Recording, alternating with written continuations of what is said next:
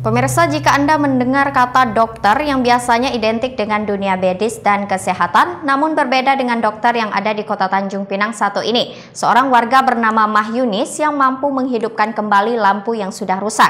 Dengan keahliannya ini, Mah Yunis menggeluti usaha dengan membuka klinik dokter lampu. Berikut liputannya hanya untuk Anda. Inilah klinik dokter lampu yang berada di Jalan Nuri Indah, kilometer 11, kota Tanjung Pinang yang didirikan Mah Yunis untuk memperbaiki bola lampu yang telah rusak, serta menjual kembali lampu yang telah diperbaikinya dengan harga yang terjangkau. Hal berangkat dari keahlian Mah Yunis di bidang teknisi lampu lalu lintas, Mah Yunis kemudian mencoba membuka usaha yang ia tekuni sejak tahun 2017 tersebut.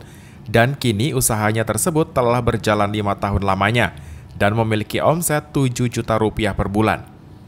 Mahyunis yang juga merupakan guru agama di salah satu sekolah yang ada di kota Tanjung Pinang menjelaskan, mengawali usaha dokter lampu ini berawal dari keresahannya melihat banyaknya limbah sampah elektronik di TPA Ganet tidak terpakai.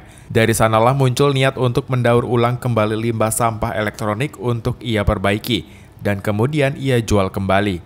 Tidak hanya itu, di kliniknya tersebut, Mah Yunis juga menampung bola lampu maupun barang elektronik bekas dari pemulung untuk dibelinya. intisari kita untuk mendirikan ini adalah mengurangi sampah. Hmm. Yang pertama mengurangi sampah, karena sampah kaca itu tidak hancur bertahun-tahun. Kita kita coba lah untuk apa itu. Jadi yang seharusnya dibuang kita ulang daur ulang lagi, bisa dipakai lagi gitu. Kemudian di samping itu kita pikir juga bagi warga yang kurang mampu gitu yang harga bola mahal kehidupan susah gitu kan jadi kita tawarkan dengan harga yang agak murah bisa ditukar tambah juga dibawa dia lampu tuh 10 kita kasih lampu nyala satu bagi anda yang ingin memperbaiki lampu rumah anda anda dapat mendatangi dokter lampu di Jalan Nuri Indah kilometer 11 Tanjung Pinang dengan harga servis 5 watt Rp13.000 hingga lampu 105 watt dibanderol harga Rp75.000. Garansi 3 bulan. Sandi, GoTV News melaporkan.